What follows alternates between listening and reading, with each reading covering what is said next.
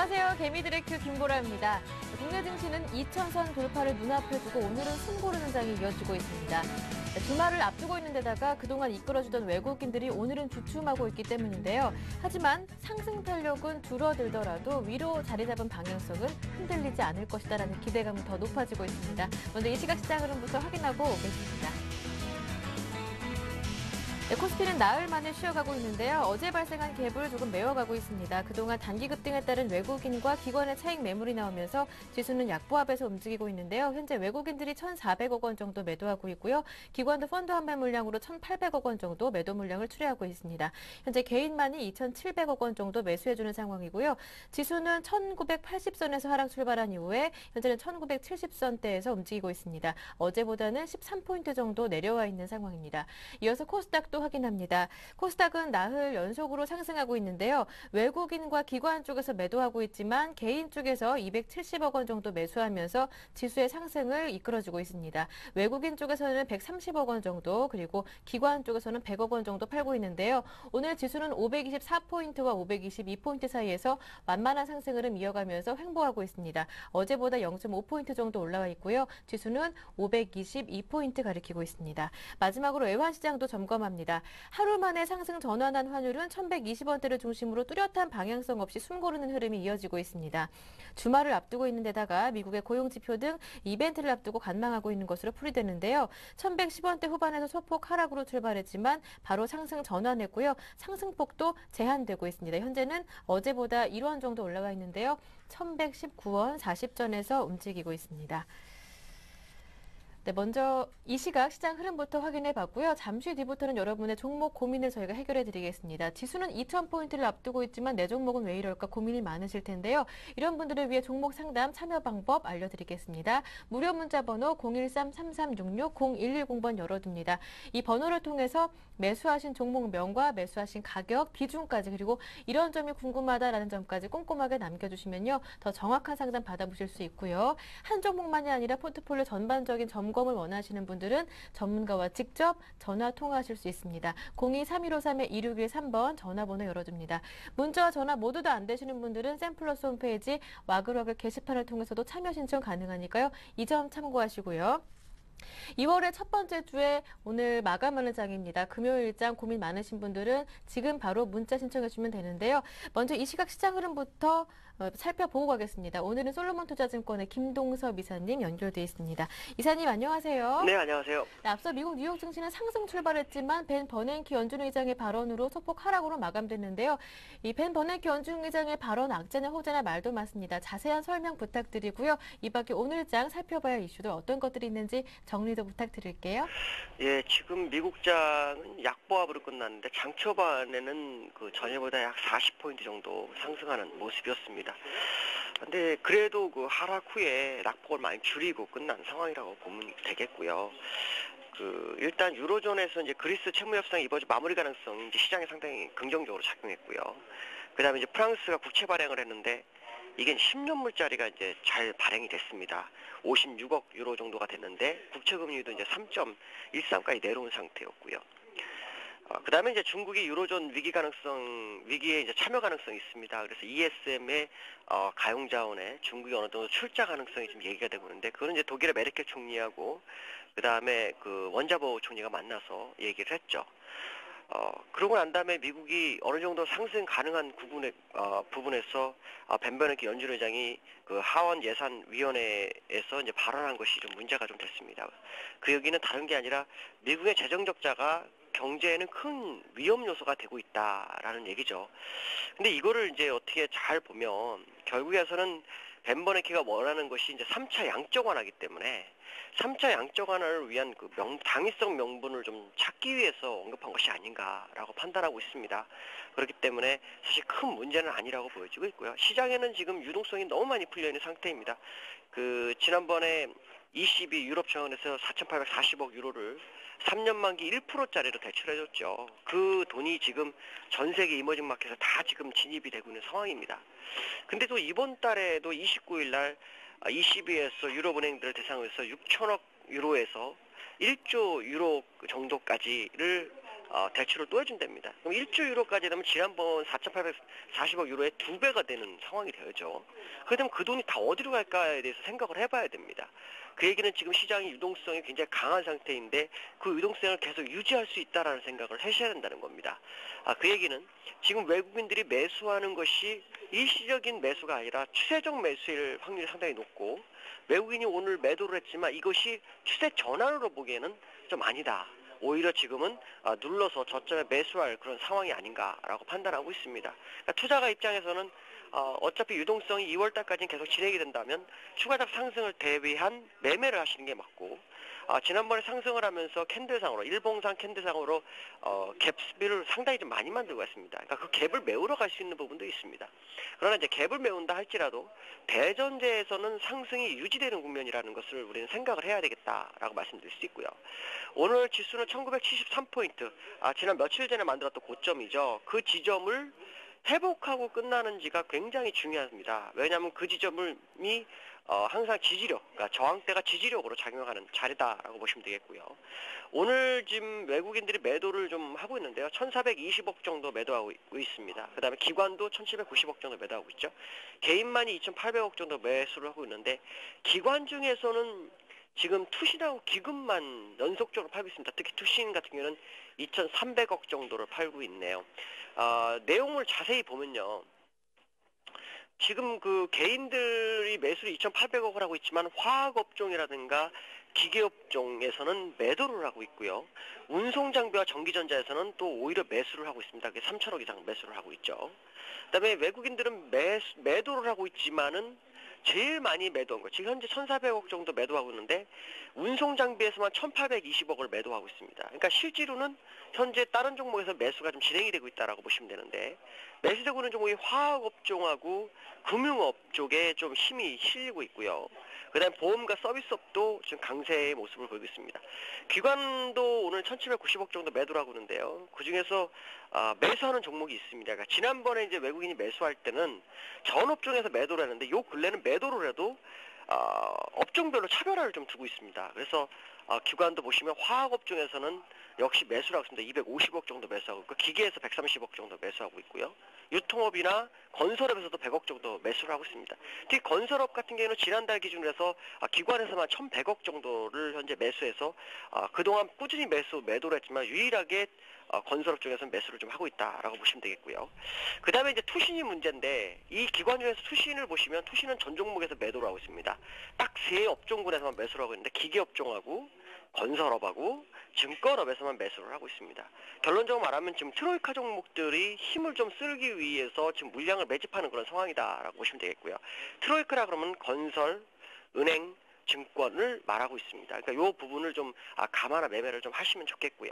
지금 그 종목별로 본다면 삼성전자가 아, 연일 하락하고 있죠. 이거는 그 시장 개미 투자가 입장에서는 절대 나쁜 게 아닙니다. 삼성전자의 비중이 크기 때문에 아, 적어도 삼성전자가 좀 내려와야만이 여타 종목분에서는 아, 시가총액을 메꿔주기 위해서 상승을 좀 할 수 있는 부분이 있고요. 그 다음에 오늘 특징 중에서 현대중공업이 실적이 좀 안 좋게 나왔습니다. 그래서 지금 5.9% 정도 빠지고 있고 하이닉스가 3.6% 정도 빠지고 있죠. 어, 그리고 나머지 종목들은 혼조 양세를 좀 보이고 있다 이렇게 말씀드릴 수 있습니다. 네, 오늘 도움 말씀 잘 들었습니다. 고맙습니다, 이사님. 네, 감사합니다. 네, 지금까지 솔로몬 투자증권 목동지점의 김동섭 이사님과 함께했고요. 이어서 개미들의 종목 상담이 이어집니다.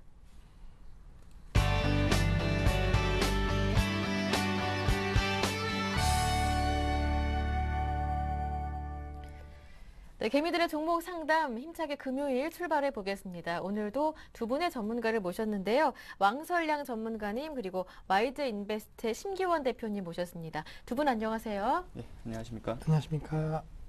네, 두 분의 전문가와 함께 오늘도 훈훈한 외모만큼 훈훈하게 상담 시작해 보겠습니다.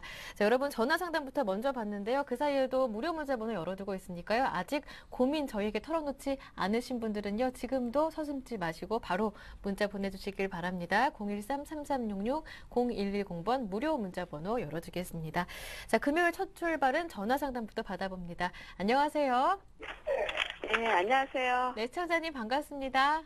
예, 반갑습니다. 네, 어디에서 전화 주셨나요? 목소리가 굉장히 어, 여기. 밝으신데요.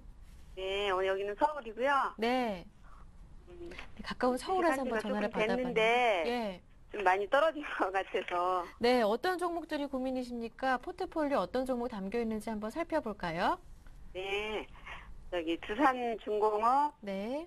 7만 3천 원에 30%. 네, 7만 3천 원에 30% 비중으로 갖고 계시고요. 예, GS건설 네. 96,300원에 30%. 네, 96,300원에 30%요. 예, 삼성 HDI 네. 16만 2천 원에 15%. 16만 2천 원에 15% 정리 한번 해볼까요? 두산중공업 7만 3천 원에 30%, GS건설 9만 6,300원에 30%, 삼성 SDI가 16만 2천 원에 15%, 나머지 25%는 다른 종목들, 뭐 현금도 섞여 계시고요. 어, 네, 다른 종목이 두산중공업은 조금씩 있어요. 네, 조금씩 네. 있는데 다른 네. 거에서도 지금 손해가 있어가지고 예, 이거를 갖다가 지금 좀 올라가고 있어서 네. 했는데 목표가를 좀 알고 싶고요. 네, 두산중공업 거의 매수가 막 회복하려고 하고 있는데요. 네, 그래서 그것도 그 전에 음 저기 쌀 때 잡아가지고 했는데 너무 네. 손해 나가지고 네. 물타기 한 거예요. 예, 그래가지고서 이게 7만 3천 원이 됐는데 옛날에 좀 올라갔을 때못 네. 팔아가지고 네, 물린 거죠. 네, 그때 한번 기회를 좀 놓치셨었고, GS건설은 수익 중이시고요. 예. 그리고 삼성 아 SDI가 이것도 네. 이제 저 높을 때 잡았다가 예. 물타기해서 30%가 된 거예요. 가격 네. 낮추느라고. 네, 삼성 SDI가 조금 손실이시고 이 세 종목이 네. 어떻게 다른 기타 종목들의 손실을 만회해줄 수 있을 것인지 어느 정도 네. 오를 수 있을 것인지 제 옆에 훈훈한 외모를 갖고 계신 심기현 대표님 앉아 계시거든요. 네. 네, 직접 통화 나눠보세요. 예. 예, 대표님. 네, 안녕하십니까. 예, 안녕하세요. 네, 우선은 뭐 지금 걱정이 좀 많으신 것 같으신데요. 어쨌든 좋은 종목군들, 또 시장에서 지금 또 이슈가 되고 있는 종목군들을 좀 갖고 계시기 때문에 뭐 전반적으로는 크게 걱정하지 마시라고 좀 말씀을 드리겠습니다. 어, 네. 우선은 지금 세 종목을 문의를 해 주셨는데요. 예. 우선 어, 두산중공업부터 봐드릴까요? 네. 우선 두산 중공업 같은 경우는 먼저 결론적으로 좀 말씀을 드릴게요. 지금 네. 조금 손실 구간이신데요. 어, 두산중공업 뭐 추가 매수하셔갖고 평균다가 낮추셨다라고 하셨는데 우선은 수익 보고 나오자라고 좀 결론을 먼저 지어드리겠습니다. 그렇다면은 네. 그 이유에 대해서 좀 설명을 해드려야 되는데 어, 두산중공업을 처음에 매수를 해주신 이유가 그 있으신가요? 그 전에 네. 그 저기 뭐야 한 아니 아니 그게 저기 한참 올라갈 때 원전주로 해가지고 많이 올라갔지 네네. 않습니까? 네, 그때 해가지고 이렇게 9만 3천 원까지 갔었는데 네, 어디 갔다 와 보니까 쭉 빠졌더라고요. 네. 아 이거 들고 계신 지가 좀 오래되셨나 보네요. 예, 네. 그러시면은 우선은 원전 관련된 그러한 약간 그 하나 업종을 보시고 지금 선택을 하신 거죠? 예, 어, 우선은 두산중공 같은 경우에는 뭐 그 일본 대지진에 따른 뭐 그러한 이슈가 되면서 원전 관련주로 많이 분류가 되는데 사실 뭐 원전 관련된 그런 부분도 있겠지만 화력발전이라든가 또 플랜트 뭐 여러 가지 사업에 대해서 특히나 요즘 같은 경우에는 LNG 선에 대한 그 기대감 사업에 대한 천연가스에 대한 부분이 상당히 좀 부각이 되는 그러한 종목이면서 기계 종목이 어느 정도 대장주 역할을 해주고 있기 때문에 뭐 단순히 원전 관련주라고 생각하시는 것은 조금은 좀 오류가 있으시다. 따라서 전반적인 사, 사업 다각화에 따른 기대감이 현재 작용을 하고 있기 때문에 뭐 두산 중공 같은 경우에는 지금 시점 좀 안정화된 실적 기대감이 높아지고 있는 것이 사실이다라고 먼저 결론을 지어드리겠고요. 사실 지금 가격대 그 시청자님께서 갖고 계시는 이 7만 천 원대에서 7만 3천 원대가 상당히 좀 어려운 그러한 가격대입니다. 2011년도부터 계속적으로 좀 1년 동안에 상당히 좀 긴 그런 박스권 형태를 좀 보이고 있기 때문에 상당히 돌파 가능성이 뭐 무조건 높다라고 말씀드리기는 어렵겠지만은 뭐 아직까지는 두산중공업 말씀해 주신 대로 고점 대비 아직은 좀 낮은 단계에서 주가가 머무르고 있다라는 점 다시 한번 뭐 실적이라든가 특히나 수주 모멘텀이 강화된다라고 한다면은 이 두산중공업 같은 종목군들은 더 올라갈 수가 있는데 다행스러운 것은 두산중공업 올해 2012년도 수주 증가량에 대한 기대감이 지금 시장에서 작용하고 있는 시점입니다. 따라서 이러한 모멘텀이 지속이 되고 뭐 수주 취소라든가 이러한 악재만 나타나지 않는다라고 한다면은 올 상반기까지는 이 두산중공업 같은 종목군들 빠르게 상승 탄력도 이어갈 수 있을 것으로 판단되고 있기 때문에 어, 처음에 두산중공업 매수하셨을 때 목표가 얼마나 설정하셨나요? 어, 처음에 저기 목표가를 할 때는 한 8만 5천 원 정도 예산을 했었는데 계속 가더라고요. 네. 그래서 좀 더 갈 줄 알고 기다리다가 네. 못 팔고 여태 이제 물려갖고 있는 거예요. 그러세요? 그렇다면 우선은 두산 중국 같은 경우에는 뭐 8만 5천 원대 주가를 목표가를 설정하시는 것보다는 제 개인적으로는 우선 한 7만 6천 원대, 7만 5천 원대 이상에서 한번 파시는 것이 좋지 않을까라고 말씀드리는데 어, 우선은 8만 5천 원까지 가려면은 어, 시간이 조금 걸릴 것 같습니다. 따라서 너무 시간 지금 뭐 아시겠지만은 워낙 해발 이슈가 변동성 큰 그러한 장세 장세이고 사실 최근에 대형주들이 많이 올라가는 이유가 펀더멘탈이 완전히 뭐 개선이 되고 경제 상황이 좋아서 올라가는 게 아니고 단순히 외국계 유동성이 풀리면서 올라가고 있는 것을 감안한다고 한다면은 조금은 그 시청자님께서 생각하신 목표가보다는 낮은 한 7만 6천 원 정도에서 우선은 수익 보고 나오시는 관점으로 대응 전략 을 짜보자라고 말씀을 드리겠고요. 어, 두산중공 같은 경우는 손절가도 상당히 좀 중요할 것 같습니다. 아무래도 지금 박스권 상단에 위치를 해 있기 때문에 만약에 박스권 돌파가 안 된다고 한다면은 재차적으로 한 6만 5천 원대라든가 혹은 많이 떨어진다라고 하면 육- 많이 떨어진다라고 한다면 6만 원대까지 내려갈 수가 있기 때문에 손절가에 있어서는 좀 짧게 한 6만 8천 원 정도 잡으신 다음에 6만 8천 원 이탈된다라고 한다면은 조금 박스권 하단 쪽으로 내려가려고 하는 압력이 강하다라고 생각하시면서 뭐 그렇다고 해서 매도하시고 무조건 이 종목을 관심에서 배제시키는 건 아니고 박스권 하단 다시 한번 좀 재매수 저가 매수 기회로 활용하실 수 있는 그런 손절 전략을 좀 말씀을 드리겠습니다. 어, 예. 따라서 두산중공 같은 경우는 결론을 딱 지어드리면은 최근에 뭐 LNG라든가 여러 가지 이슈에 따른 특히 수주 모멘텀이 지금 작용하고 있기 때문에 7만 2천 원대에 대한 저항 라인 뚫고 올라가고 7만 6천 원대까지 대형주 상승과 함께 함께 동방 상승을 기대하면서 수익 보고 나오자라고 좀 말씀드리고 싶습니다. 좀 이해가 되셨나요? 예, 예. 예, 또 궁금한 점 있으신가요? 두산중공업에 대해서? 아니, 아니고요. 네. 어, 삼성 SDI가 좀 손실이 많으니까 네. 삼성 예. SDI도 궁금합니다. 네, 우선은 삼성 SDI 같은 경우에는 실적이 좋지 못하였습니다. 그 조금은 예상치보다도 좋지 못한 흐름을 보였기 때문에 오늘 장에서도 좀 흐름이 좋지 못한 흐름, 흐름 나오고 있고 역시나 삼성 SDI 같은 경우는 성장성과 그리고 불확실성이 두 개가 존재한다. 성장성은 2차 전지 부분이고 불확실성은 태양광 사업 부분이다라고 말씀을 드리겠고 4분기의 실적에 있어서는 2차 전지가 예상치만큼의 실적이 못 나왔기 때문에 실적 전망이 지금 좀 내려갔다라는 점을 기억해 주시면은 조금은 어느 정도의 투자 전략을 세우기가 편하실 것 같으신데 어, 결론적으로 말씀드리면 삼성 SDI 같은 종목군들 2차 전지에 대한 상승 기대감 그리고 실적 개선 기대감은 2012년도에도 계속 될 수가 있을 것 같습니다. 또한 최근에 흐름이 부진한 것은 삼성전자가 조금 고점 대비해서 조금 행보 구간이 어느 정도 하락 압력을 받고 있기 때문에 관련 삼성 관련된 이 전기전자 업종이 좀 약세 흐름 보이고 있다는 점에서 삼성 SDI의 지금 추세가 하락 쪽으로 전환되었다기는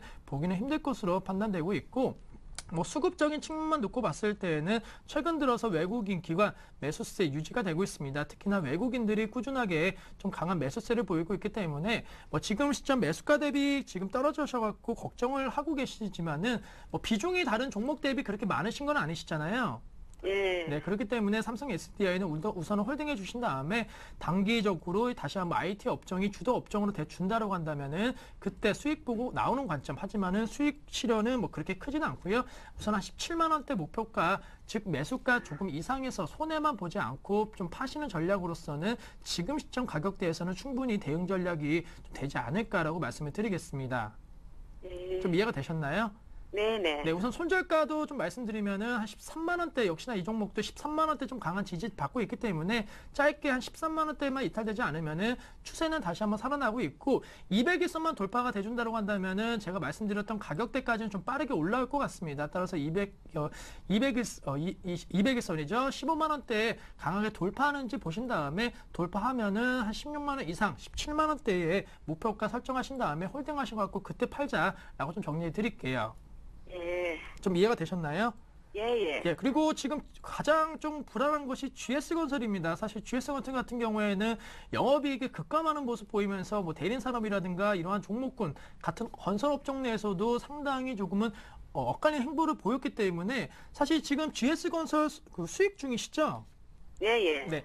어, 결론적으로 말씀드리면은 GS건설에 대해서는 우선은 좀 불안감, 실적 불안감이 나왔기 때문에 매도하시는 전략, 어느 정도 분할 매도하시는 전략으로서 수익 실현 관점에서 우선은 좀 그 현금화 하자라고 말씀드리는 게 아무래도 최근에 장세가 실적이 좀 개선이 되고 뭐 턴 어라운드에 대한 기대감이 높았던 종목군들이 많이 올랐고 또 실적도 그에 맞는 예상치에 부합하는 실적이 나와준 종목군들이 오히려 떨어지는 것이 아니고 재료 소멸에 따른 하락이 나오는 것이 아니고 오히려 더 투자 심리가 개선되는 모습 보이고 있기 때문에 GS건설 같은 종목군들 예상치보다 낮은 실적 보였기 때문에 우선은 수익 나신 관점에서는 지금 수익 실현하시고 다른 종목군으로 한번 재매수 관점 대응 전략을 짜시는 게 지금 시점 같은 경우에는 오히려 낫지 않을까라고 좀 말씀을 드리겠습니다. 아, 그러면 목복귀하는요? 아, 우선은 GS건설 같은 경우는 지금 10만 3천 원대 형성이 되고 있는데요. 말씀드린 네. 대로 우선은 10만 원대 지지가 되더라도 우선은 네. 실적이 좋지 못했다라는 점 다시 한번 다른 종목 대비 앞으로 실적 전망치가 좋아진다라고 해서 무조건 오르는 게 아니고 더 좋은 종목군들이 있다라고 한다면 상대적으로 GS건설이 못 올라갈 가능성이 높은데 지금 건설업종은 그 대장주로서는 삼성 엔지니어링 그리고 실적에 대한 기대가 높은 것이 대린 산업이기 때문에 조금은 투자 심리가 이 GS건설 쪽에서는 멀어지고 있다. 따라서 지금 가격 대에서 분할 매도하신 다음에 지금 3.2% 급락하고 있는데 10만 3천 원대에서 10, 10만 그리고 8천 원대에서는 우선 다 정리하시면서 이 종목은 좀 수익을 보고 나오시는 관점으로 빨리 대응 전략을 짜시는 게 오히려 낫지 않을까라고 말씀드리고 싶습니다. 예, 감사합니다. 네. 궁금- 잘 알았습니다. 시장님 충분한 답변이 되셨는지요? 예, 네, 전화 주셔서 고맙습니다. 네, 주말 즐겁게 감사합니다. 보내시고요. 네, 고맙습니다. 네, 문자 빠르게 진행해 보도록 하겠습니다. 첫 번째는 코스맥스 들어왔는데요. 이분은 0127번님, 0127번님께서 보내주셨습니다. 네, 코스맥스 17,500원에 매수하셨고 비중이 100%인데 언제쯤 원금 회복할지 이 점이 궁금하다고 하시는데요. 예, 이 코스맥스 같은 경우는 네. 지금 화장품 관련된 그런 업체 중에서 그러니까 OEM, ODM 방식으로 해가지고 예. 전문 생산하는 그런 업체 중에 하나입니다.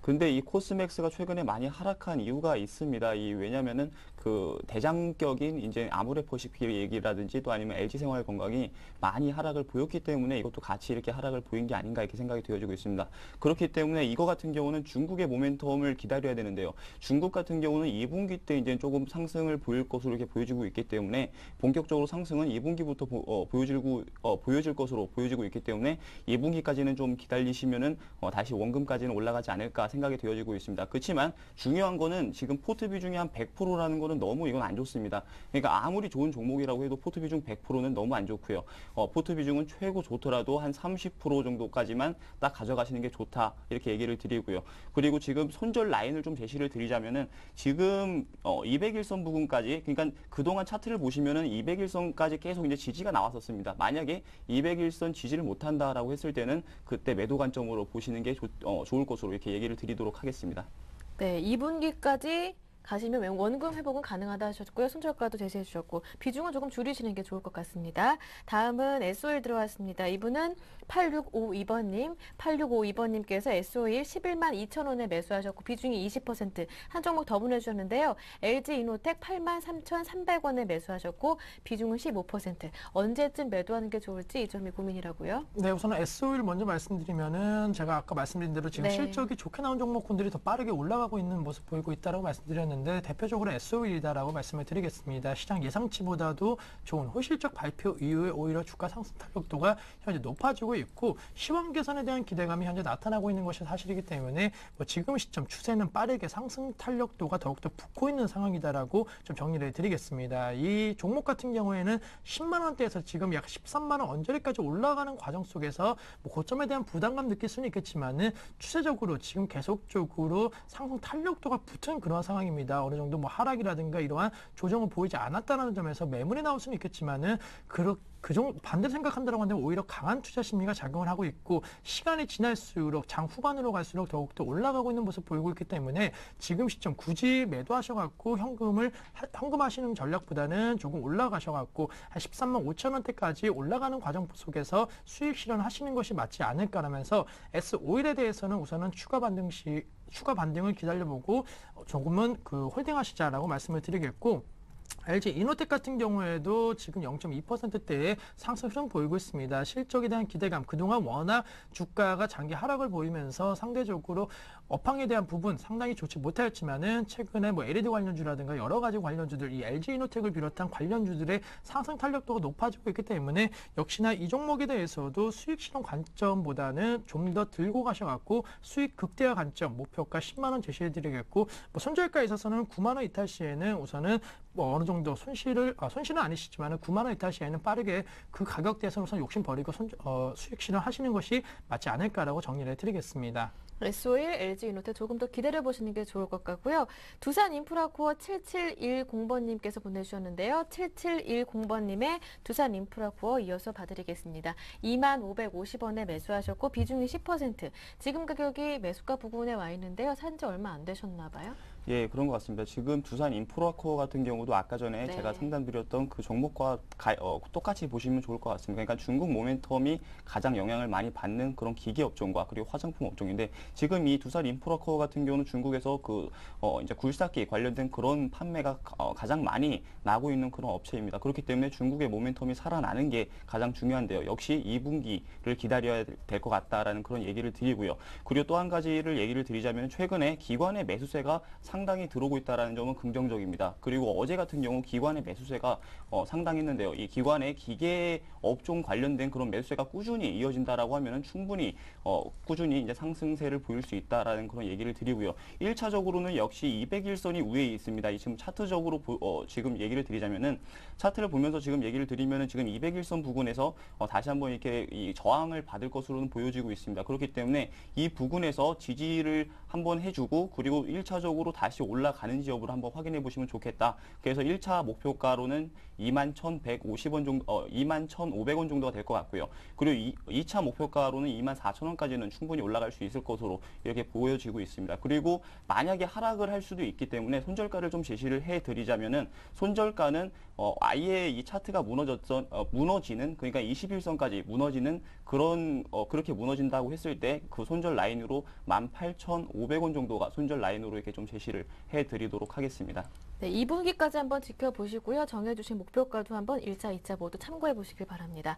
다음은 NC소프트가 들어왔는데요. 이 종목은 28만 원에 매수하셨다고 하고요. 비중이 60%인데 손절해야 하나 가지고 가야 하나 궁금하시다고 해요. 목표가도 궁금하다고 하시고요. NC소프트 오늘 많이 내리는데요. 신작 네. 지연된다고요? 네, 우선은 그 신작 게임 출시가 지연될 수 있다는 우려감이 나오면서 네. 현재 7.1%대 하락 흐름 보이고 있습니다. 사실 NC소프트를 비롯한 게임 업종 그동안 상대 적으로 좀 하락세가 보였습니다. 그동안 좀 많이 올랐 고 상대적으로 또 정부 규제 리스크가 부각이 되면서 이 게임 업종이 시장에서 그렇게 큰 그 각광을 막, 어, 못 받고 있는 상황인데 NC소프트 같은 경우는 신작 게임 출시 지연했다는 우려감이 나오고 있는 것이 지금 시점 급락의 주요 원인이다라고 말씀을 드리겠습니다. 어, 따라서 지금 이러한 급락을 어느 정도 급락하고 있는 과정에서 사실 매도하시는 전략은 조금은 불필요하지 않을까라면서 아직까지는 확실하게 출시 지연에 대한 뭐 그러한 사항이 결정된 것은 아닙니다. 일각에서는 뭐 이러한 것이 사실 무근이다라는 지금 얘기도 나오고 있기 때문에 이, 어, 나오고 있기 때문에 우선은 7% 급락에서 더 급락할 가능성은 조금은 없다라고 말씀드리겠고 우선은 주말을 좀 지켜보신 다음에 월요일이라든가 화요일장에서 이슈가 어떻게 진행이 되냐에 따라 갖고 조금 선절을 하시냐 아니면은 홀딩을 하시냐가 결정하실 것 같은데 우선은 이러한 신작 게임 지연이 어느 정도 루머로 나타났다고 한다면 당연히 홀딩 전략을 말씀드리겠고 그렇지 않고 정말로 지연이 된다라는 그러한 것이 기정사실화된다고 한다면은 26만 원 이탈 시에는 우선은 한 번은 좀 손절하시는 전략이 필요할 것으로 예상이 되고 있습니다. 따라서 만약에 26만 원 이탈 시에는 손절한다라고 한다면 24만 원대에서 재매수, 재매수하시는 관점으로 대응 전략 짜 주시고 만약에 손절되지 않고 어, 계속적으로 간다라고 한다면은 다시 한번 27만 원 이상의 약 28만 원대의 매수가 부분까지 올라올 수 있기 때문에 NC 소프트에 있어서는 결론적으로는 손절 이탈하지 않는다라고 한다면은 매수가 부분까지 올라올 때까지 한번 기다려 보자라고 말씀해 드리겠습니다. 네, NC소프트는 다음 주름을 유념 있게 한번 봐야 될 것 같네요.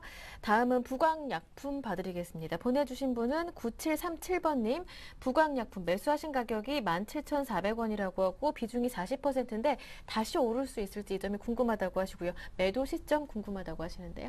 예, 역시 지금 부광 약품 같은 경우는 네. 역시 테마로서 그동안 좀 많이 올랐던 그런 부분이 있습니다. 그러니까 의약품 관련된 그리고 줄기세포 관련된 그런 부분들로 인해 가지고 좀 상승세를 보였는데 지금 역시 이 부광 약품도 마찬가지로 이제 다시 한번 상승을 보이, 어, 보이는지 여부도 역시 테마로 묶여가지고 상승할 수 있는지 여부를 한번 보셔야 될 것 같습니다. 그렇지만 제가 봤을 때는 정부의 최근에 이제 어제도 발표했는데 이 의약품 관련된 그런 기업들을 육성을 더 하겠다. 그냥 정부의 지지, 어, 정부에서 지원을 하겠다 라는 부분이 발표가 됐, 어, 됐습니다. 그래서 그런 부분들 같은 경우 한번 시장에서 다시 한번 모멘텀을 일으킨다고 하면 충분히 매수하는 가격까지는 올라올 수 있는데 만약에 그 부분이 다시 한번 어, 그 모멘텀이 안 됐을 때는 충분히 더 하락할 수도 있기 때문에 그 부분 한번 체크해 보시면 좋겠다라는 얘기를 드리고요. 그리고 어, 지금 가격대에서는 지금 상당히 차트적으로 봤을 때는 어, 중요하게 좀 중요한 자리에 놓여 있다 이렇게 보여주고 있습니다. 역시 121선의 지지 여부가 지금 나와 있는데요. 이 121선의 지지 여부가 지금 1차적으로 중요할 것 같고 그 손절 라인으로 좀 제시를 해드리자면은 201선 부근, 201선 부근까지 만약에 깨지고 떨어진다라고 했을 때는 이때는 손절 라인으로 제시하는 게 어, 이때는 손절로서 이렇게 어, 이제 매도하고 나가시는 게 좀 좋지 않을까 얘기를 좀 드리도록 하겠습니다. 그래서 가격대는 14,000원 정도가 될 것 같고요. 그리고 충분히 지금 어, 오늘 같은 경우 만약에 121선 지지가 나온다라고 했을 때는 1차적으로 목표가를 좀 제시를 해드리자면은 전 고점 라인인 어, 17,600원까지는 충분히 올라가지 않을까 이렇게 얘기를 드 리도록 하겠습니다. 네.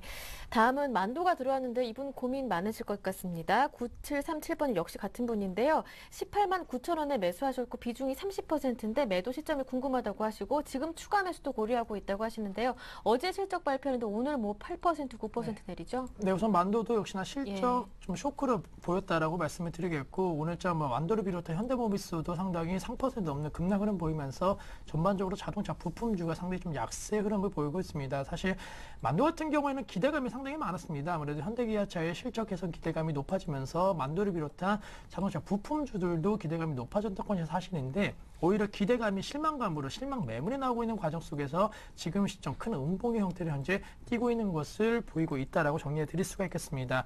어, 결론적으로 말씀드리면 지금 18만 9천 원대 매수를 하셨다고 한다면은 지금 시점 물론 제가 앞서 뭐 실적 안 좋게 나온 종목군들 더 이상 급락할 수 있다라고 말씀드렸는데 그러한 종목군들은 이미 단기적으로 많이 올라간 상황이기 때문에 매물 나올 수 있다라고 말씀드린 거고 만두 같은 경우에는 사실 그동안 이러한 우려감을 어느 정도 주가에 반영시키는 모습 보였습니다. 따라서 오히려 더 지금 급락 이후에 재차적으로 반발 매수가 들어올 가능성이 높기 때문에 뭐 추가 피, 어, 하실 이유는 없겠지만은 우선은 지금 들고 계시는 물량 그대로 한번 들고 가신 다음에 우선 한 18만 원대까지 급락이 시작되었던 18만 원대까지 한번 기다려 보시는 전략을 취해 보자라고 정리해 드리겠습니다. 네, 이렇게 만도 의견 드렸고요. 네, 이어서 전화 한 통화 더 받아보도록 하겠습니다. 그 사이에 아직 고민 털어놓지 못하신 분들은요, 무료 문자 번호 통해 저에게 아직 늦지 않았습니다. 종목 상담 신청해 주시길 바랍니다. 두 번째 전화 받아봅니다. 안녕하세요. 여보세요? 네, 시청자님 안녕하세요. 반갑습니다. 예, 안녕하세요. 네, 어디에서 전화 주셨나요? 아, 여기 대구인데요. 네, 대구에서 전화 보내주셨는데요. 예, 예. 네, 포트폴리오 어떤 종목 담겨 있습니까? 아, 저기 새우테크하우에. 새우테크 한 종목 들고 계신 건가요? 예, 예. 네, 100% 비중으로 담으시고 매수하신 가격은 어떻습니까? 5,710원, 비중 오- 100%. 예, 예. 5,710원이면 매수하시는 가격대 부근에 있는 것 같아요. 예, 예. 네, 앞으로 어떠한 흐름이 이어질 것인지 향후 전망은 또 궁금하실 것 같고요. 투자 기간은 어느 정도로 보시나요? 단기로 보실 것 같은데요. 예, 예. 단기로 보고 있어요. 예. 네. 그렇다면은 단기로 보셔 투자를 시작하셨을 때 맨 처음에 조금 원하셨던 목표가는 어느 정도였습니까? 아, 맨 처음에 한 6,300원 정도. 네, 6,300원 정도 오를 것이다 라고 봐주셨는데 예. 음, 충분히 가능할 수 있을 것인지 옆에 왕설량 전문가님 나와 계시거든요. 예, 한번 예. 여쭤볼게요, 왕 예. 전문가님. 네, 예, 어머님 안녕하세요. 예, 안녕하세요. 아, 예, 예. 그 네. 새우테크 어떤 계기로 인해 가지고 좀 사셨는지 좀 여쭤봐도 될까요? 아, 그게 무상증자고 난다고 소리가 있었고. 어, 예, 예. 어떤 부분이요? 다시 한번 좀 얘기 좀 해주세요. 제가 잘 못 들었습니다. 예, 무상증자. 무상증자 부분이요? 예, 예. 아, 제가 지금 최근에 이게 상승을 이렇게 보였던 게 제가 알기로도 무상증자 관련된 이슈가 있어가지고 이렇게 올랐거든요. 예, 예. 근데 이 무상증자 관련된 이슈가 지금 그냥 모든 이 새우테크를 투자하시는 분들이 다 알고, 계- 어, 알고 계세요, 지금. 예, 예. 그렇기 때문에 지금 무상 증자를 만약에 했을 때는 충분히 다시 올라갈 수는 있겠지만 예. 만약에 무상 증자를 안 했을 때는 이게 급락을 할 수 있거든요. 아, 예, 예. 그렇기 때문에 제가 봤을 때는 지금 또 포트 비중의 100%를 지금 들고 계시잖아요. 예, 예. 그냥 이게 주식이 주식이라는 게 그렇습니다. 그 제가 이제 생각했을 때는 주식이라는 게 아무리 좋은 종목도 100%의 비중으로 이제 갖고 가는 건 아니다라는 게 이제 제 그 결론이거든요. 예, 예. 그렇기 때문에 지금 100%로 만약에 이게 올라갔으면 좋은데 만약에 무상증자를 안 했을 때는 추가적으로 하락을 했을 때 그때는 손해가 크실 거예요. 예, 예. 그렇기 때문에 제가 봤을 때는 지금 원금 부근이기 때문에 이 예. 원금 원금까지는 한번 터치는 줄 것 같거든요. 아, 예. 예, 그러면 원금 터치 줄 때 그때는 포트 비중에 어, 아무리 좋아도 30% 40%까지만 이렇게 가져가시고 나머지 비중은 다 정리하시는 게 좋, 어, 좋겠다 이렇게 보여지고 있거든요. 아, 예. 왜냐하면 이게 좋으면은 좋은 거지만 이게 잘못하다가는 진짜 그 더 크게 이렇게 손실을 볼 수 있기 때문에 주식이라는 예. 거는 가장 안전하게 이렇게 투자를 해야 되는 거지 투기를 해야 되는 건 아니잖아요. 예, 예. 예, 그렇기 때문에 그 부분 어, 상당히 좀 잘 지켜주시면 좋겠다라는 그런 부분을 좀 먼저 얘기를 드리겠습니다, 어머님. 예, 예. 그래서 이 관련돼 가지고 좀 자세히 좀 더 얘기를 드리자면요, 어머님. 이 예. 새우테크가 지금 실적이 어, 3분기가 좀 안 좋게 나왔는데 4분기 때는 이제 3분기보다는 좀 더 안 좋게 나올 거다라는 그런 얘기가 좀 많아요. 아, 예. 예, 그 부분에 대해서 좀 얘기를 드리자면은 그 매출액이 거의 사- 어, 73억 원 정도가 이렇게 나올 것 같고요. 그리고 영업이익이 9.8억 정도, 그러니까 한 10억 정도 이렇게 나올 것 같은데 3분기보다는 좀 더 부진하다. 부진하기 때문에 주가가 어, 추후적으로 좀 더 하락할 수도 있다라는 그런 부분 좀 더 얘기를 드리고요. 예, 예. 그리고 이 회사가 아까 전에도 얘기 드렸다시피 이 무상증자 관련된 그런 얘기가 많잖아요. 예, 예. 이 무상증자를 하는 그 이유에 대해서 좀 얘기를 드리자면은 이 회사가 지금 그 벌이고 있는 일이 이제 해외 M&A 관련된 그런 일들을 지금 하려고 하고 있거든요. 네. 그래서 이 해외 M&A 관련된 그런 일을 만약에 했을 때 그 관련돼 가지고 얘네들이 이제 부각을 시키고 또 이제 무상 증자를 통해 가지고 얘네 회사에 어 부각을 좀 더 시키겠다. 그러니까 회사 회사 홍보 차원도 있고 여러 가지 주가 모멘텀도 있고 이렇게 홍보를 시키겠다라는 그런 부분 때문에 이렇게 하는 거거든요. 예, 예. 그렇기 때문에 지금 봤을 때는 어 제가 봤을 때도 이게 할지 안 할지는 모르겠는데 그래도 안전하게 갖고 가자. 만약에 하게 되면은 그 갖고 있는 30% 40% 종목 어 그 포트 비중만 수익만 나시면은 된다라는 그런 그렇게 얘기를 좀 드리도록 하겠습니다, 어머님. 아, 예. 그래서 네. 지금 지금 봤을 때 제가 봤을 때는 충분히 원금까지는 갈 수 있기 때문에 그 원금에서는 어 한 70%까지는 정리하셔야 됩니다, 어머님. 아, 예. 예, 예, 안전하게 가셔야 되기 때문에 그렇게 좀 얘기를 드리도록 하겠습니다. 아, 그리고 예. 만약에 무상 증자를 했을 때 충분히 상한가가 한 번은 한 번은 나올 것 같고요. 예. 그러면은 한 번 나오게 되면은 그때 이제 그 잔량이 얼마나 쌓였는지를 보고 나서 그 다음에 매도를 결정을 하셔야 되는데 그때 만약에 한 번 더 전화 주시면은 제가 다시 한 번 또 상담을 드리겠습니다. 만약에 무상 증자를 했을 때. 아, 예, 예. 예. 그리고 예. 만약에 무상 증자, 증자를 안 했다. 그리고 계속 시간이 끌려간다라고 하면은 추가적으로 큰 폭으로 하락을 보일 수 있기 때문에 그때는 포트 비중을 조금 조금씩 정리를 하셔야 됩니다. 네. 알겠, 알겠죠, 어머니? 예. 그리고요. 예, 예. 저기 지금 매수를 예, 저기 한화하고 예. 예, 신선 ENG하고 그 매수를 좀 하고 싶은데요. 어, 어떤 종 괜찮을까요? 하나, 하나하고 어떤 거요? 신선 ENG. 신성 ENG요? 예, 예. 지금 제가 봤을 때는 한화하고 신성 ENG보다 오히려 다른 대형주 쪽으로 보시는 게 좀 좋지 않을까. 왜냐하면 한화 같은 경우는 어제 있었던 일인데요. 예. 이 한화 그룹의 이제 회장이 김승현 회장이라는 분이거든요. 예. 이 김승현 회장이 지금 어 이제 뭐 배임과 이제 횡령 관련된 그런 소식으로 인해 가지고 뭐 9년의 징역도 이- 어, 9년의 징역형과 그리고 뭐 벌금까지 한 1,500억 정도로 제가 알고 있거든요. 아, 예. 예, 그렇기 때문에 이 한화 관련된 그룹주들은 좀 안 좋지 않을까 이렇게 생각이 되어지고 있습니다. 아, 예. 그래서 지금 제가 봤을 때는 오히려 지금 만약에 매수를 하신다고 하면은 지금 네. 시장에서 외국인과 기관이 어, 매수를 많이 하고 있는 게 대형주잖아요. 예, 예. 그러니까 대형주 중에서 하나 골라가셔 어, 고르셔가지고 이렇게 매수하시는 게 좋지 않을까 얘기를 좀 드리도록 하겠습니다. 아, 그러면 그 종목은 대충 뭐 어떤 종목이 있나요? 어 제가 봤을 때는 지금 LG 화학이 지금 마이너스 1.3 1.3% 정도가 되거든요. 예, 예. LG 화학이 지금 외국인과 기관이 이제 매수세가 계속 이어지고 있어요. 예. 그렇기 때문에 오히려 제가 봤을 때는 LG 화학이 다른 종목들보다도 훨씬 더 괜찮지 않을까 단기적이라든지 중기적, 장기적으로도 훨씬 괜찮지 않을까 이렇게 좀 얘기를 드릴 수 있을 것 같습니다. 아, 예, 예, 예, 알겠습니다. 네, 그렇다면 LG화학은 목표가는 어느 정도로, 손절가는 어느 정도로 볼까요? 예, 그러면 LG 화학에 대해서 제가 차트 보면서 손절가와 그 목표가 좀 제시를 해드리겠습니다, 네. 어머님. 예, 예, 예. 예, 지금 차트 보시면은 지금 딱 그 외국인과 그동안 외국인과 그 기관이 계속 매수를 해, 어, 해줘가지고 이 200일선까지 계속 돌파를 했는데요. 근데 지금 같은 경우 대- 어, 제가 말씀드렸던 아까 말씀드렸던 매수 가격 부분 지금 가격도 매수 가격 부분이다라는 그 이유가 200일선을 지지하기 때문이거든요. 아, 예. 그렇기 때문에 지금 가격에서 매수 관점으로 보시고 그리고 어, 손절 라인은 어, 제가 봤을 때는 추가적으로 하락을 보일 수 어, 보일 수 있, 있겠지만 그래가지고 좀 손절 라인을 좀 제시를 해드리자면은 어제 어제 좀 많이 상승을 했거든요. 어제 한 하루에 6%까지 상승을 보였는데 만약에 이게 어, 추가적으로 이 200일선까지 하락을 보이고 그 다음에 더 떨어졌을 어, 떨어진다라고 했을 때 한 37만 5천 원 부근 선에서 어, 37만 5천 원 선 부근에 이제 손절 가격으로 좀 제시를 해드리고요, 어머님. 예. 이때까지는 만약 제가 봤을 때는 떨어지는 않을 것 같습니다. 그렇지만 만약에 떨어진다고 하면 이때 손절 라인으로 좀 제시를 해드리고 그리고 목표가로 제시를 해드리자고 하면은 1차적으로 충분히 45만 원, 50만 원까지도 갈 수 있는데 1차적으로 45만 원까지 좀 제시를 해드리도록 하겠습니다. 그러면 지금 가격대에서 거의 한 10% 정도 수익은 충분히 어, 나실 것으로 이렇게 보고 있습니다. 아, 예, 예, 예. 잘 알겠습니다. 예, 예. 네, 선생님 일단 새우테크는 매수가 회복했을 즈음에서 비중 정리하시고요. LG화학도 한번 봐드렸으니까 고려해 보시길 바랍니다. 오늘 예, 전화 주셔서 감사합니다. 고맙습니다. 네.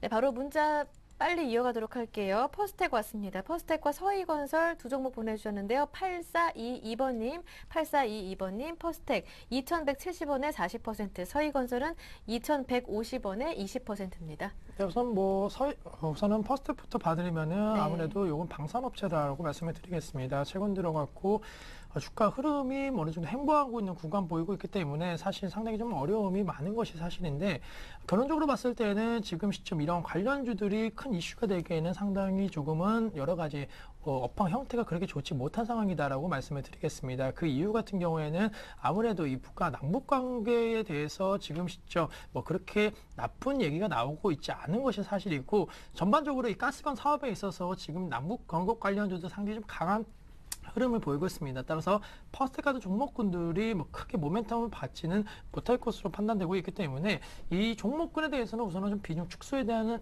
대한 의견을 드릴 수밖에 없다라는 점 좀 양해를 먼저 말씀을 드리겠습니다. 그렇다면은 지금 시점 손실 구간이신데 어떻게 하셔야 되냐? 우선은 차트 흐름 보신 대로 하면 단기적으로 좀 왔다 갔다 하는 모습 보이고 있습니다. 이러한 흐름 속에서 짧게는 한 2,050원대까지의 단기 상승은 좀 기술적으로는 반등이 가능할 것으로 판단되고 있기 때문에 이쯤 온다라고 한다면은 우선은 매도 전략을 취해 주시고 손절가에 있어서도 상당히 좀 중요할 것 같습니다. 손절가에 있어서는 1,900원대 역시나 조금 짧게 잡으셔갖고 이 종목은 짧, 짧은 변동성을 이용해서 수익을 내시든 아니면은 그런 변동성이 이탈될 시에는 손절 전략을 취하시는 전략으로서 시장의 관심을 받을 수 있는 모멘텀이 아직까지는 크지 않다. 따라서 어느 정도는 비중 축소에 대한 의견을 드리겠다라고 정리를 드리겠습니다. 다음 종목 같은 경우에는 서희건설을 들 수가 있는데 뭐 서희건설 같은 경우에는 지금 상당히 좀 그 상승 흐름 보이고 있습니다. 상당히 좀 무섭게 오르고 있으면서 오늘자 같은 경우에는 현재 상한가를 기록을 하면서 지금 어, 수익 구간이 아닌 아직까지는 먼 그러한 어, 매수가 대비해서 상대적으로 아직은 먼 그런 모습 보이고 있는데 우선은 지금 상한가 거래량이 상당히 좀, 좀 강하게 작용을 하고 있기 때문에 지금 시점 어, 어느 정도 모멘텀 탔기 때문에 급등하였지만 우선 홀딩하셔갖고 1,500원대까지의 이러한 주가 흐름을 한번 기대해 보시는 것도 좋지 않을까라고 말씀드리면서 손절가에 있어서는 지금은 매수가 근처에서 보다는 좀 아래성 재료 한 11,100원대만 이탈되지 않는다라고 한다면은 이런 급등 흐름은 깨지지 않는 것으로 판단되고 있습니다. 따라 서해거서 같은 경우에는 급등 을 하고 있지만은 이러한 급등을 좀 더 이용해 갖고 최대한 손실을 줄이고 나오는 전략으로서 한번 대응 전략을 짜보자라고 말씀을 드리겠습니다. 그럼 서희건설은 매수가 보고 났을 때는 매도를 해야 하는 거겠네요. 네, 우선은 매수가 부분 내려온다라고 한 아, 매수가 부분까지는 아니고요. 서희건설 같은 경우에는 우선은 1,100원대 이탈된다라고 한다면 매도하시는 전략으로서 저 대응 전략을 짜주시고 매수가가 상당히 높기 때문에 네. 우선은 한 1,500원대 온다라고 한다면은 그때 정리하는 그러한 전략으로서 한번 짜보자라고 정리를 해드리겠습니다. 네, 다음은 삼익 악기가 들어왔네요. 보내주신 분은 8888번님 2,010원에 매수하셨고 비중이 30%인데 기업 내용 전망 모든 것 다 궁금하시다고 하는데요. 예, 알겠습니다. 지금 삼익 악기 같은 경우는 지금 가치 투자 관련된 그런 그 모임에서 상당히 많이 이렇게 논의가 되고 있는 그런 종목 중에 하나입니다. 이 삼익 악기 같은 경우는 딱 한 가지로 얘기를 드리자면은 예전에 이 삼익 악기 저희가 가정마다 그 집집마다 모두 다 이제 그 피아노가 있었는데요. 그때 이제 삼익 악기가 이제 어 그때 이제 큰 폭으로 삼익 악기가 어 주가가 큰 폭으로 상승을 보였는데 그 뒤로부터는 이제 어 악기 주가가 큰 폭으로 하락을 보였었던 적이 있었습니다. 그렇지만 최근에 다시 이 악기의 주가가 큰 폭으로 상승하는 이유가 딱 한 가지입니다. 이 중국에 관련된 어 중국에서 지금 악 아, 삼익 악기에서 중국에 진출해 어, 진출 진출을 해서 그 삼익 악기에 관련된 그런 그 어, 피아노를 팔고 있는데요. 그러니까 삼익 악기가 또 이제 그 독일의 독일 관련된 독일의 피아노 회사들은 역시 이제 독일의 이제 업체들이 좀 유명한데요. 이 독일의 업체들 중에서 이 자일러와 그리고 스타인웨이라는 그런 업체가 있습니다. 이 업체의 지분을 대거 매입을 해거- 해서 지금 이제 자회사로 이렇게 두고 있습니다. 그 회사들은 이제 고급 피아노를 이제 말하는데요. 그러니까 저희가 소위 그, 그 이제 레스토랑이나 그런 데 가면은 큰 그런 피아노 있잖아요. 그런 것들을 이제 주로 이제 만드는 그런 회사들입니다. 이, 이 피아노를 이제 중국 시장에서 이제 판매를 하고 있는데 이 중국 시장에서 호조세를 보이고 있다라고 합니다. 그렇기 때문에 지금 주가가 이렇게 상승을 하고 있는 그런 이유가 되는 것 같은데요. 최근에 이렇게 상승을 보이고 있고 그리고 지금 가격대에서 제가 봤을 때는 어, 충분히 지금 더 한번 상승을 보일 수 있을 것 같습니다. 그렇지만 어, 만약에 하락을 보인다라고 했을 때는 그동안 200이, 121선에서 계속 지지가 나왔기 때문에 이번에도 만약에 하락을 보인다 했을 때 120선 지지가 나오는지 여부 한번 확인해 보시면 좋을 것 같습니다. 그래서 만약에 여기서 지지가 안 됐을 때는 1,900 어, 1,900원 라인에서 이 매도 가격으로 이렇게 좀 제시를 해 드리고요. 손절 가격으로 제시를 해 드리고요. 만약에 상승을 보인다라고 했을 때 1차적으로는 충분히 2,300원까지 돌파하지 않을까 생각이 되어지고 있습니다. 네, 다음은 오래 기다리셨습니다. 9517번님 봐드릴게요. 이분은 현대 미포조선을 보유하고 계신데요. 22만 7천 원을 비교적 높은, 아주 높은 가격에 사셨는데 20% 비중으로 담으셨고, 걱정이 많으시기 때문에 테라 세미콘으로 가보는 건 어떨까? 종목 교체도 고민이신가 봐요. 네, 우선은 뭐 사실 두 종목 있어서 상당히 좀 결정이 어려운 것이 사실이다라고 네. 말씀을 드리겠습니다. 이유는 현대미포조선 역시나 바닥권에서 지금 탈피하고 있는 모습 보이고 있고 해양 플랜트에 대한 그런 장점을 다시 한번 가, 지면서 조선 업종 내에서도 상승 탄력도를 동반 상승하고 있는 모습이 현재 진행이 되고 있기 때문에 사실 워낙 큰 손실이기 때문에 그 지금 시점 전략 매도하시는 전략은 조금은 좀 어, 부- 어, 어, 상당히 좀 어려울 것 같습니다. 따라서 우선은 현대미포조선 같은 경우에는 20% 분량, 어, 비중을 갖고 계시는데 우선은 10%를 그러니까 50% 20%의 50%를 매도하셔갖고 테라스미콘으로 어, 갈아타시는 전략 즉 이 두 종목 다 같은 포트로 한번 가져가 보자라고 말씀을 드리겠습니다. 현대 미포조선 같은 경우에는 앞서 말씀드린 대로 모멘텀으로 지금 바닥권 탈출하고 있기 때문에 충분히 지금보다는 상승 탄력도가 높아질 수가 있을 것으로 판단되고 있고 테라스미콘 역시나 삼성전자 어, AM OLED 관련된 부분에 있어서의 경쟁력 부분이 지금 나오고 있는 상황이기 때문에 상승에 대한 가능성이 둘 다 높다. 따라서 어느 것이 더 먼저 올라갈지에 대해서는 지금 확신이 확실히 지금 얘기할 드릴 수가 없기 때문에 우선은 정리를 50% 하시고 두, 어, 두 종목 다 가져가자라고 정리해 드리겠습니다. 네, 그래서 오늘 상담은 여기에서 마무리 짓도록 하겠습니다. 금요일 상담 두 분의 전문가와 함께 했는데요. 왕설량 전문가님 그리고 YG 인베스트의 신기원 대표님과 함께 했습니다. 두 분 수고 많으셨습니다. 고맙습니다. 네, 감사합니다. 감사합니다. 네, 이번 주는 올 겨울 들어 가장 추운 날씨였다고 하죠. 주말은 따뜻하고 즐겁게 보내시면서 몸도 마음도 활력 충전, 충전하시길 바랍니다. 저는 다음 주에 더 힘찬 모습으로 다시 오겠습니다. 함께 해주신 여러분 고맙습니다.